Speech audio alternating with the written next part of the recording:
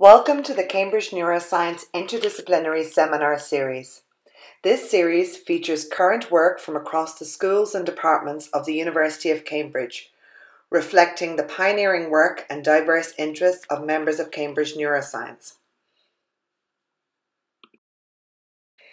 Today, for the second in our series, we welcome Professor David Menon, Head of Division of Anaesthesia of Department of Medicine at Addenbrooke's Hospital at the University of Cambridge.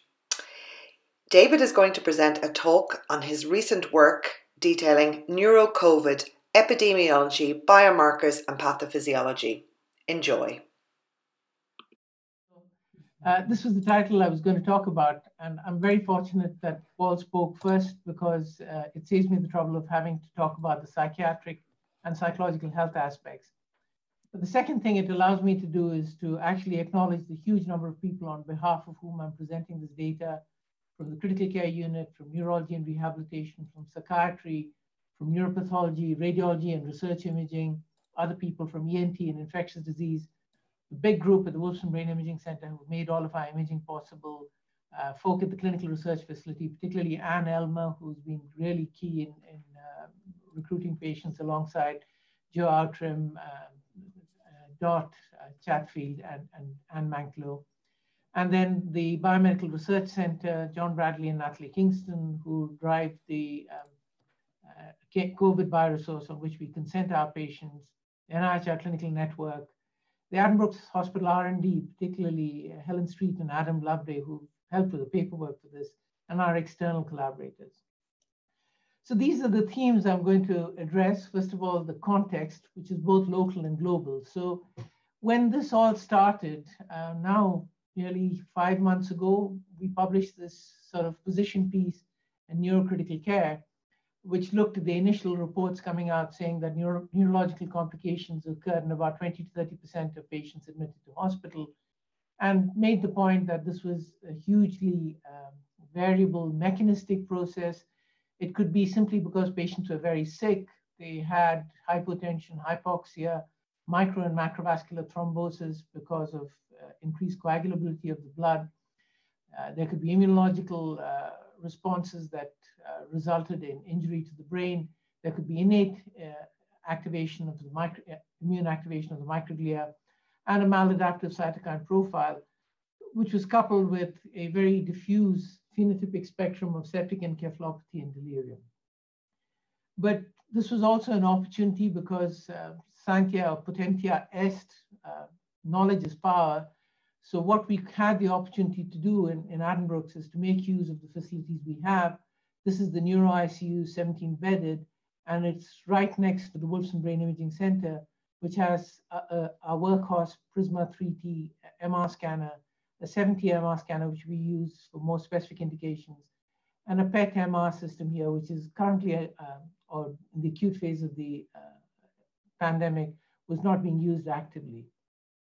So this provided us with the opportunity of looking at perhaps more than most other places, the acute physiology using advanced imaging techniques, particularly MR.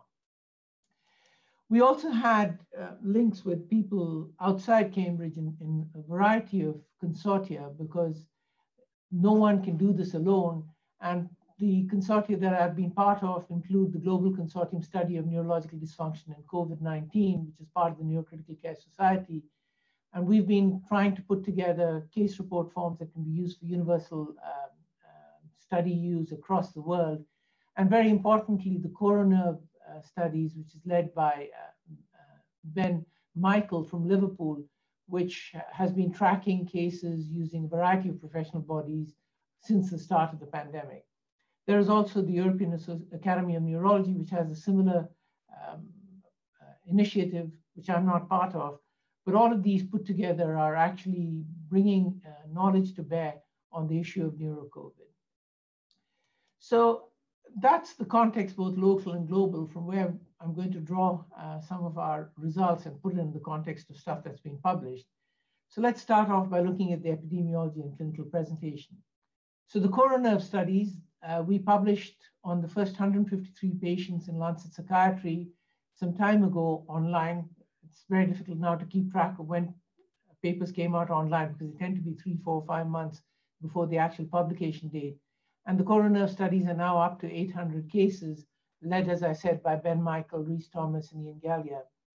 And this is the first 153 uh, rapid reports, excluded some because of unavailable cases.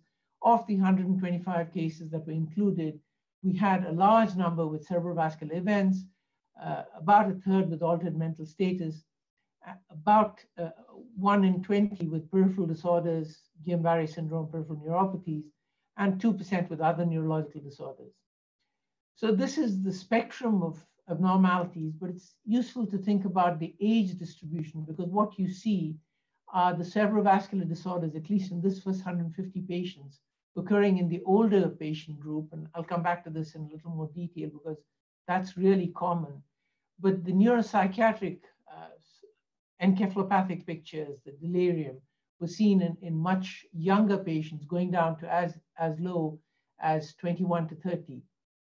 It's worth saying, however, that these stroke-like uh, syndromes, including large vessel occlusions, were seen in younger patients, often without risk factors, suggesting that the disease was not just precipitating stroke in older patients, but was causing stroke probably in younger patients. So, so much uh, for what's happened in the UK population.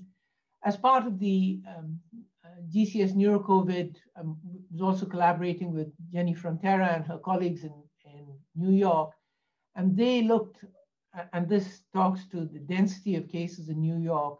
They looked across this period at 12,000 cases who had gone through their systems and found that uh, uh, nearly a thousand of them had new uh, neurological findings. When you button down the cases that were PCR positive for SARS-CoV-2, there were 606 out of a total of uh, about 4,000 patients. We add those two together, it's about 4,400 patients, which gives you, if you look at the table on the right, nearly 20% of patients, of hospitalized patients, having a neurological event, including a toxic metabolic encephalopathy, stroke, hypoxic anoxic brain injury, just headache, seizure, movement disorders, peripheral neuropathies, myopathies, Guillain-Barré syndrome, and then uh, loss of taste or smell. But in the 26 patients who had lumbar punctures and CSF sampled, at that stage, they found no one who they grew uh, or they could do a PCR and find positivity for the virus in the CSF. Since then, there's been um, some more uh, detailed uh, phenotypic characterization of these patients. And this is one of the papers that emerged from Queen Square. Uh, these are the two joint first authors, and Hadi Manji and and uh, Mike Zandi are the two senior authors. This was 43 patients where they found that the severity of neurological disease was unrelated to the severity of respiratory COVID. 29 of these were definite PCR positive patients, eight had supportive lab features. And I'll come back this at the end of the uh, talk with increased inflammatory markers and so on, and six of whom had epidemiological associations and were possible. So they've totaled these definite, probable, and possible patients and classified them into different syndromic groups, encephalopathies, CNS inflammation, ischemic stroke, peripheral nervous system involvement, and a miscellaneous uh, ragtag of uh, syndromes. These encephalopathies had delirium, the CSF and the MR tended to be non-specific. Uh, supportive care was all you had to offer, but most patients made a relatively good outcome. The CNS inflammation group had encephalitis, uh, acute disseminated encephalomyelitis, necrotizing encephalitis, and myelitis, supportive care, steroids, sometimes other immunomodulatory interventions, and they had varied outcomes, not uniformly good. Ischemic stroke, very often large vessel stroke, sometimes in younger patients. This was in patients who seemed very often to have a prothrombotic picture. Some of them had associated pulmonary emboli, the treatment was varied depending on the stroke and, and exactly what was happening to the patient, and the outcome was varied. And then you have patients with Guillain-Barré syndrome or brachial plexopathy. Many of the patients who had the brachial plexopathy had very severe respiratory COVID, had had to be prone, may have had traction injury to their brachial plexuses. And they were treated with physiotherapy as they recovered. Prevention is important in terms of the brachial plexopathy because positioning might make a difference and outcomes uh, may be an issue. And then there were these miscellaneous uh, patients who had a variety of, uh, of um, conditions which spanned many of these across, across these. When you go looking at the stroke pictures, what you find is that the characteristics uh, and outcomes of patients with stroke who have COVID-19 and acute ischemic stroke from other historical comparisons are slightly different. This is from the Swiss registry. What you find, if you look at the distributions here of the blue and the red for the severity of the stroke, you find that the patients with COVID-19 related stroke have subtly but significantly more severe strokes and worse outcomes. And then more recently, this paper has tried to find out what the actual incidence of stroke is, and it boils down to between 15% and 18% of strokes, 18% for all strokes, and 15% for patients who have ischemic strokes. And if you look at the outcomes, they, they can be clustered uh, into two groups. Cluster one, which is different in its outcome from cluster two with lower mortality. But the one thing that um, distinctly identifies cluster two from cluster one is having very severe or critical COVID-19. So while having severe respiratory COVID-19 is not necessarily a marker of uh, having stroke, it may be a marker of worse outcomes from stroke, perhaps because of the general state of the patient. So these have been accompanied by a whole host of uh, neuroimaging case reports and uh, short case series, and I've simply put up the most recent of these. There's a variety of uh, findings. You have patients who have intracranial hemorrhage or infarction, leukoencephalopathy, or multiple uh, infarctions, and some of these are described here on CT or MR, uh, posterior fossa hemorrhage here, small subarachnoid hemorrhages, here, small intracerebral microhemorrhages, an infarction on diffusion weighted MR image, leukoencephalopathy on diffusion weighted and FLAIR images. So I'm not going to show you repeated case reports, just to make the point that the imaging findings are, are pleomorphic, they fit the variety of clinical syndromes that we've seen before uh, in the clinical epidemiology, and are as you would expect. It's useful, however, to to compare those with the neuropathological specimens. And this was the first uh, paper that had a reasonable number of specimens, 18 patients in the New England Journal of Medicine who died between 0 and 32 days after the onset of symptoms. And here they showed only hypoxic changes. There was no encephalitis or what they label specific changes. No virus on immunohistochemistry, PCR at low levels in five patients, which may have been due to viral uh, RNA in blood in, in, the frozen sections that were taken from these patients. However, there's been a, a more complete analysis in this paper from Germany, which looked at postmortem appearances in 43 patients uh, between half a century old and nearly a century old. And you have uh, a, variety of locations. These are exemplar locations in the frontal cortex, basal ganglia, upper medulla, lower medulla, the cerebellum and the olfactory bulb, and when we come and talk about pathophysiology and mechanisms, it'll become obvious why we are, are focusing on these areas. And what they found was that there was fresh territorial ischemic lesions in, in about 15% uh, of patients, but very, very widespread astroglial proliferation. You can see GFAP, which is an astroglial marker, across all of these, particularly in the olfactory bulb, really strong brown, brown staining microglial activation here identified with the HLA-DR staining, but also cytotoxic T lymphocytes, both in the brainstem uh, and cerebellum, and also in the meninges. They found SARS-CoV-2 in nearly half of these patients, most commonly in lower cranial nerves or in isolated cells of the brainstem. And you can see here immunohistochemistry for the nucleocapsid protein or the spike protein, just isolated cells showing it. Or interestingly, in the cranial nerves, again, we'll talk about this when we come back to potential pathophysiology. But what they found was that the presence of SARS-CoV-2 in the CNS was unassociated with the severity of neuropathological changes. So how does this tie up with what we've been finding? And I'm going to sort of bring together two of the papers uh, that we've published, first looking at the MR imaging, which is the neuroanatomical substrates of generalized brain dysfunction, uh, work done by the, the uh, neuroCOVID imaging group here, led uh, by Virginia Newcombe uh, in the analysis, and then neuropathological analysis, which is run by Kieren Allinson with many collaborators both within and outside Cambridge. And as far as the imaging was uh, analysis uh, was concerned, we asked a slightly different question from what um, other people have been asking. Clearly, MR and CT imaging, for that matter, show abnormalities which replicate what you might see uh, based on the clinical features. But we wanted to ask if you looked at brains or brain regions which were not obviously lesioned, did they have microstructural abnormalities that uh, reflected what we might find later on in terms of sequelae?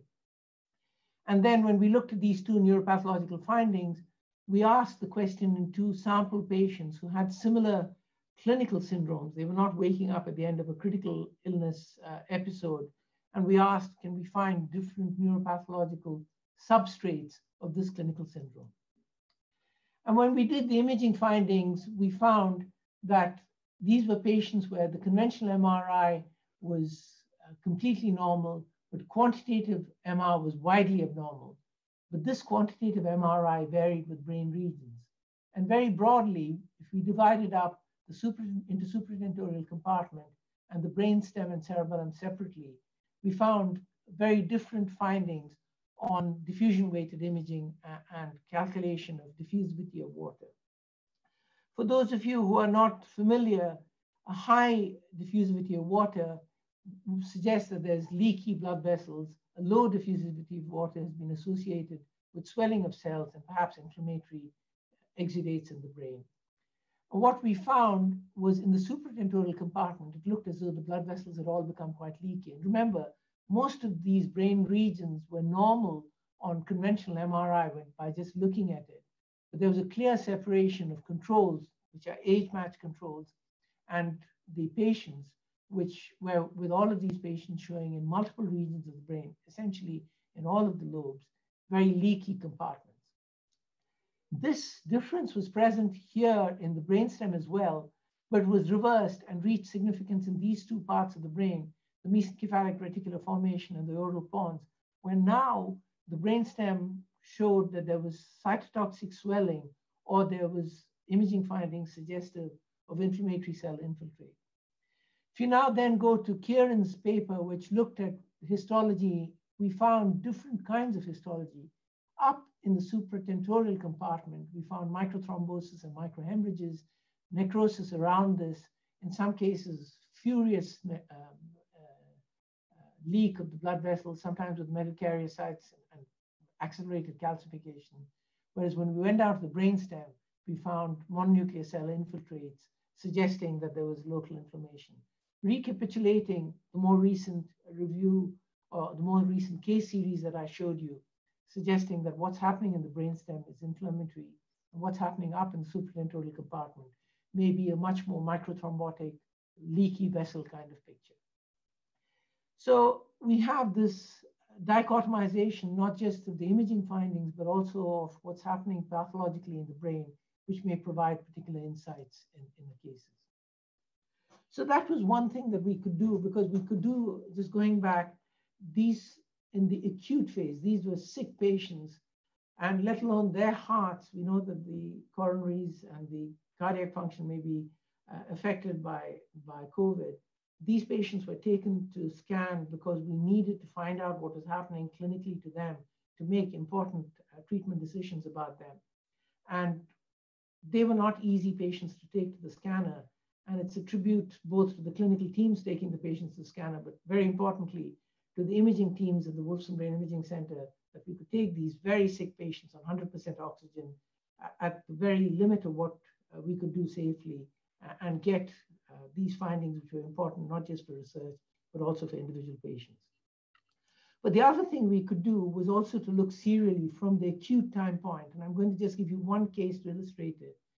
This is a 71 year old patient who presented with severe respiratory failure. And just as we were coming off um, the initial acute phase, developed a non-responsive clinical picture with generalized jerking, which was not epilepsy uh, on an EEG with bouncing eye movements. So Steve, Steve Sawcer, one of our neurology colleagues, diagnosed an opsoclonus myoclonus syndrome, which has been described previously in paraneoplastic uh, conditions and also with other viral encephalitis.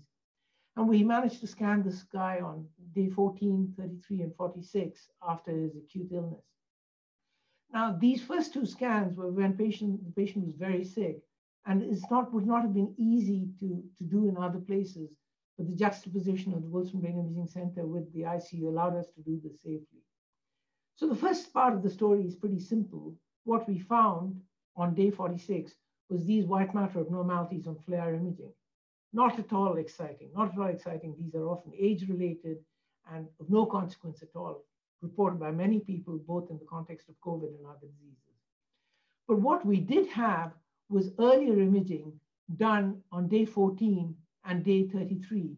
What you can find is that in the identical slices, there were no abnormalities at all. And these age-related leukomalacia changes were evolving as the patient was having these findings and were progressive with the pathology of the disease. Was it directly related to opsoclonus myoclonus? We don't know. It may just have been because this patient was experiencing a cytokine storm and the burden of physiological insults that being very sick on an ICU was associated with. But what it showed us incontrovertibly was that this was not an age-related finding that was there from the start, but this was something that his critical illness and his COVID had given him. So that's the epidemiology and clinical presentation. What could be the underlying mechanisms and pathophysiology? So this nice review article from JAMA Neurology a couple of months ago makes the point that the ACE2 receptor, which the coronavirus binds to, is present on both neurons in many parts of the brain, in the motor cortex, in the temporal cortex, basal ganglia, uh, in the brainstem, and also in a variety of, of uh, cell types in the brain. Indeed, other review articles suggest that these cell types, perhaps the astrocytes in the brain, the oligodendrocytes, and the sustentacular cells in, in the nasal mucosa, may be the prime sites of infection of these viruses, but they also get into, into the neurons. And there's also evidence that not just for SARS-CoV-2, but other coronaviruses, beta coronaviruses in particular, there can be synaptic transmission and then transmission along fat microtubules, fast axonal transport microtubules, retrograde across the synaptic barrier. So the patient has uh, a, a, sensory neuron in the nose or other parts uh, of the body, perhaps in the lung, that picks up these viruses, transported across on axonal pathways, and then transmitted across here. And within a couple of axon, a couple of synaptic junctions, can get to quite deep parts of the brain. And indeed, serial imaging can show this sometimes. You also have blood-borne uh, exit of the viruses, either as the virus itself, when the patient is viremic, or through this Trojan horse mechanism, where infected leukocytes get through a leaky blood-brain barrier, which we've shown both in pathology and uh, on the imaging uh, in the brain. I found that this paper was very useful in taking all of that pathophysiology and trying to tie it into um, the various syndromes we talked about at the start. We have a whole um, chunk of systemic disease, multiple organ failure, coagulopathy, and inflammation, which results in hypoxic and metabolic encephalopathy, stroke, or an inflammatory encephalopathy that uh, has been seen in other conditions. So this we can understand. It's probably common to a lot of critical illness, and I'll come back again to this at the end. There may be a direct inv invasion of the CNS by uh, the virus, causing viral encephalitis, meningitis, or endothelial infection, the so-called endothelialitis. This may be quite common. The meningitis and encephalitis, there's increasing numbers of case reports coming, but this is certainly not common. There may be peripheral nerve or muscle involvement, causing anosmia, ageusia, neuropathy, and muscle injury. I don't know how much of this is directly related specifically to the virus because we can get critical illness, neuropathy, and myopathy in other conditions as well. And then this whole chunk of post-infectious immune-mediated, host response mediated, Guillain-Barré syndrome, uh, acute disseminated encephalomyelitis, and similar immune-mediated conditions which are not because of the virus or the infection or the systemic host response, but because of an adaptive uh, immune response to the virus. What about when they happen? So this is, um, at the time when this paper was published, the best understanding of where this is. My sense from looking at the literature beyond this is perhaps it's much more variable. This is probably true. You have uh, an episode of viral DNA, uh, sorry, RNA is detectable in uh, secretions or in the blood. You have an acute IgM response and IgG response, and somewhere along this, a T cell response is also important. You have a clinical presentation, perhaps an acute encephalitis and myelitis, uh, immune mediated mechanisms and cerebrovascular disease.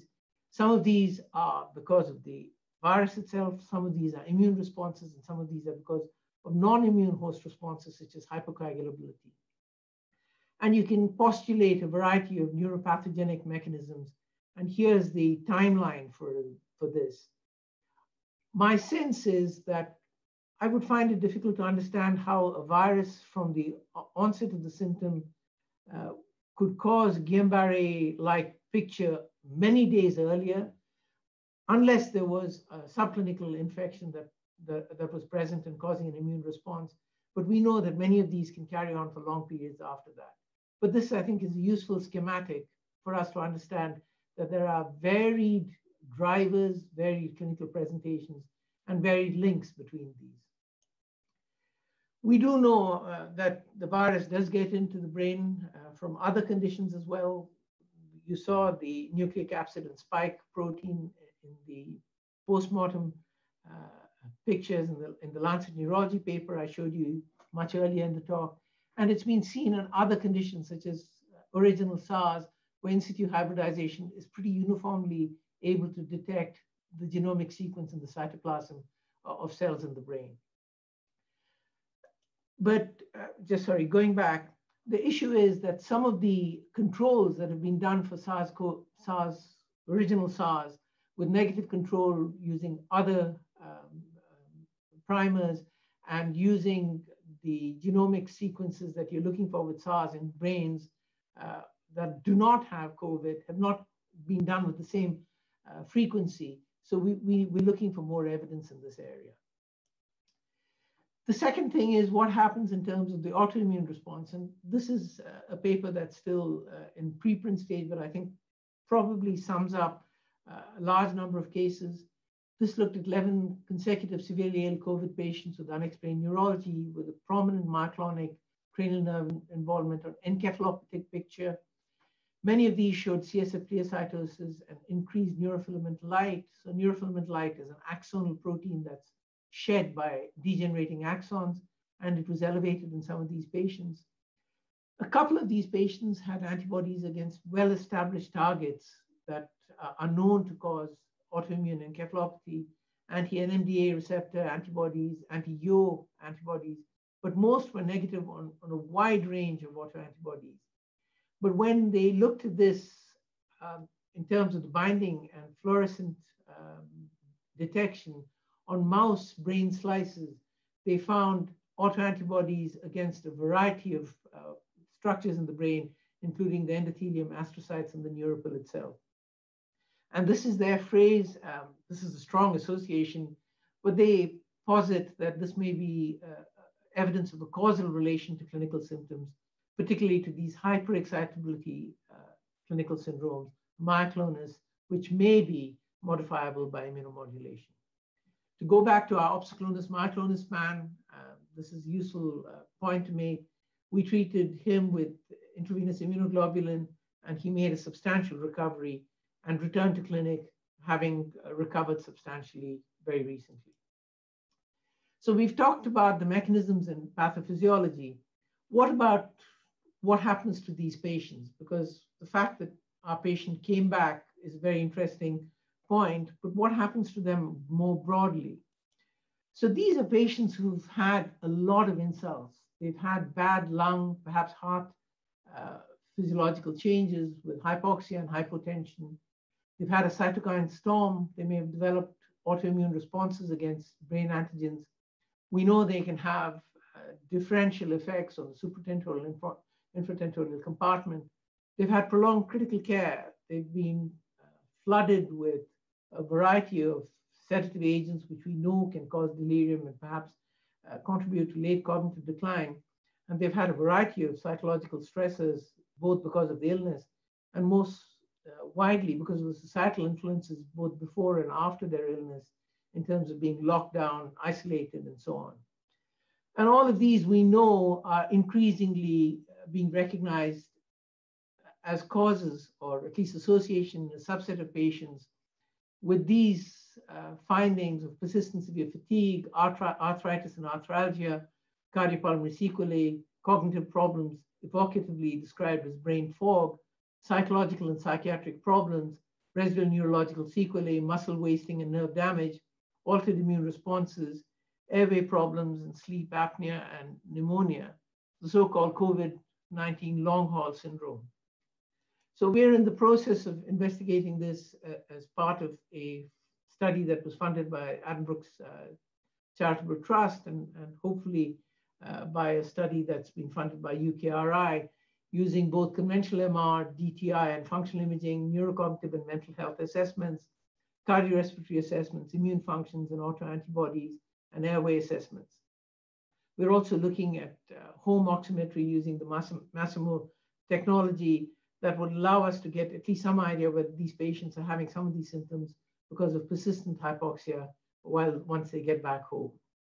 The person who's now working with us to work up a clinic is Nyarie Sithole, one of our ID consultants, and we're hopeful that we'll be able to take this forward to a, to a more definitive study. So I've talked to you about many of these things, and I come then to caveats and cautions. First, I've talked to you about specific neurological syndromes. I'm going to suggest that maybe more pervasive neurological injury, and this pervasive neurological injury may be detectable if we have good biomarkers. I'm going to ask about whether this is specific, specific for COVID-related critical illness and talk a little bit about assessing causality.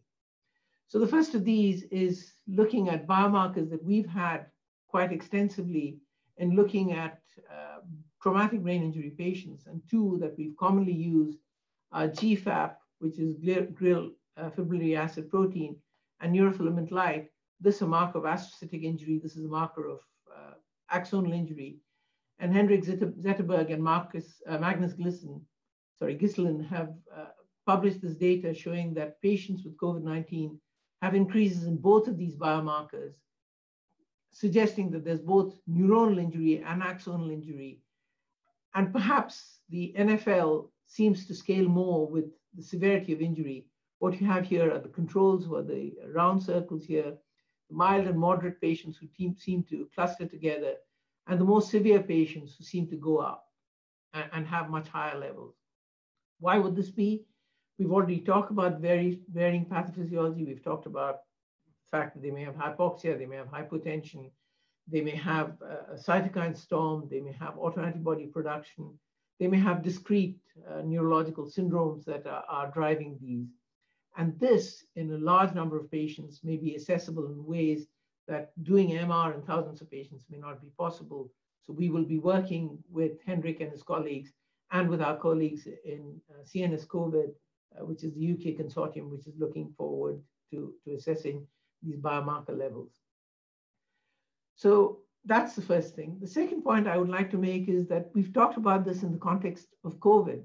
And here we have nine patients with septic shock and brain dysfunction, whom we published on with Djillali Annane and his colleagues in France, with median age of 63, with an interquartile range of 61 to 79, very severe uh, organ failure, very similar to our patients with COVID. But these did not have COVID 19. And the proof of that is this is a paper that was published in 2007.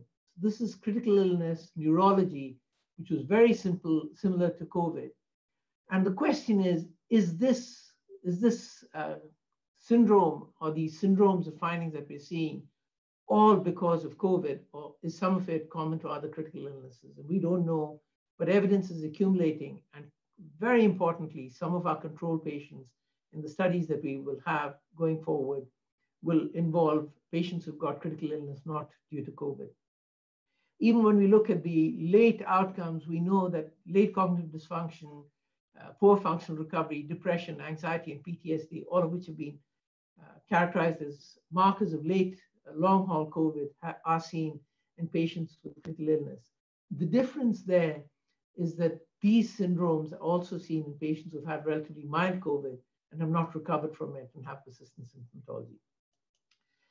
Even more interesting is this paper that's uh, just come out in Acta Neuropathologica, where they've looked at COVID-19 patients who died, septic controls and non-septic controls, and they found that this brainstem inflammation, which was reported also by the Salpêtrière group from Paris, is seen both in patients who have septic, non-COVID related critical illness and have died of it, both in the pons and medulla of oblongata.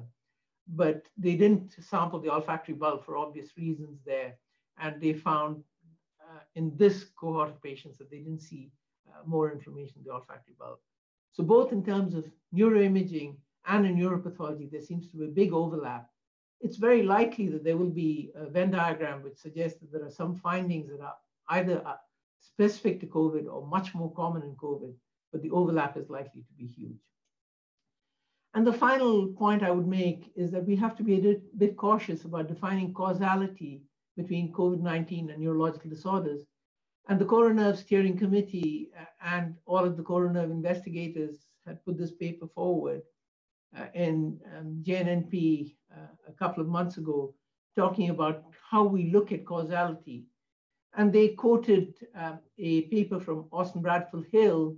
Uh, this is 1965, uh, section of occupational medicine, the proceedings of the Royal Society of Medicine, saying that if you want to associate environment and disease and go beyond association and suggest causation, you've got to look at the strength of association, the consistency of association, the specificity of this association, the temporal relationship, the biological gradient. Did it scale with disease severity? Was this biologically plausible? Was there coherence across similar diseases? Was there experimental evidence? And could you look for analogy across different diseases? Yes, but I would make the point that the strength of association may be difficult in COVID because it's an interaction between the disease and the host and may only occur in a subset of susceptible hosts. Consistency, yes, it's been reported from many parts of the world in varying disease clusters. The specificity we've seen is quite different, but this may be because the disease is pleomorphic. The temporality is inconsistent, but because some of them are because of direct viral invasion, some of it is because of late uh, or intermediate host responses to the cytokine storm, and some of it because it's a late immune response. The biological gradient of disease severity may be true if you're looking at cytokine storm and you're looking at hypoxia and hypotension and metabolic encephalopathies, but maybe there is a mechanistic difference in some patients. So some patients who don't have severe respiratory COVID, as we've seen in published, published papers now, may still have significant neurological COVID. There are biologically plausible links. We know that there's viral entry, there's hypercoagulability and immune activation, so that works. Coherence across other beta coronaviruses with SARS and MERS effect is seen. Experimental evidence, there is, there are data emerging from animal models. They still require to be replicated. We need to find out uh, how some of these animal models, which have very mild illness, are, are representative of human disease. And we do know that a, a, variety of viral illnesses from influenza onwards do have um, uh, disease, have neurological uh, uh, manifestations that makes this a plausible story. But when a, large proportion of the population, and by the end of this pandemic, something like 60 to 70% of these of, of patients in the world will either recovered from this illness or died from it, the patients who have this illness are entitled to have other illnesses as well. And we have to be careful that we don't allocate causality simply because of coexistence and association. You may have transverse myelitis from a variety of causes.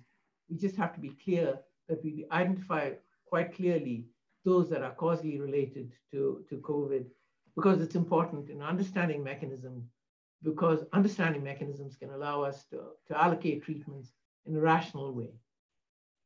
I'll finish then by again um, acknowledging people uh, who've contributed to this. And I'll leave this slide up because while everyone here has done the work, I get the chance to talk about it. Thank you very much. So, thank you, David, for that very interesting talk. Don't forget to join us next week when we will welcome Professor Tamsin Ford and she will discuss her work on the impact of COVID on the mental health of children and young people. Sign up for this and the other talks in the series on the links shown here. Thanks for joining us. Follow us on Twitter at CamNeuro to keep up to date with all that's happening in Cambridge Neuroscience.